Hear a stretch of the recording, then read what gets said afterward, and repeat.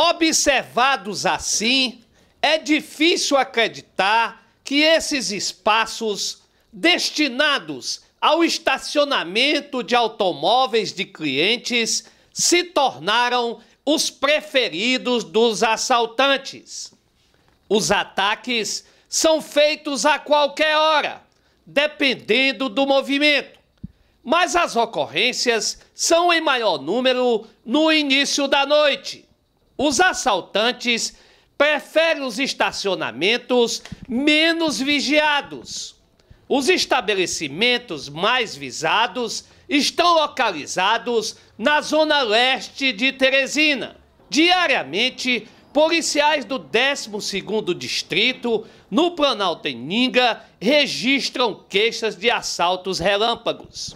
Nós tivemos um assalto no domingo, uma, um estabelecimento na Avenida João 23, e através das imagens nós já identificamos a questão de tempo para aprender esses elementos, entendeu? E agora esse período natalino vai ser maior o número de assalto e arrombamento, mas nós estamos aqui trabalhando dioturnamente no sentido de é, diminuir essas quadrilhas e prender. O que, é que o senhor recomenda para as pessoas que vão chegando assim num estacionamento de um supermercado?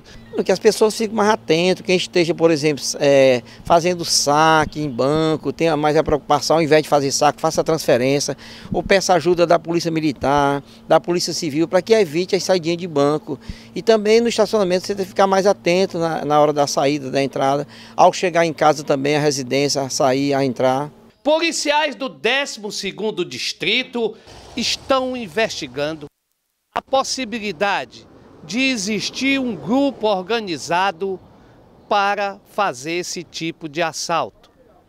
E as suspeitas são de que esses assaltantes não seriam simplesmente da periferia, e sim da classe média alta.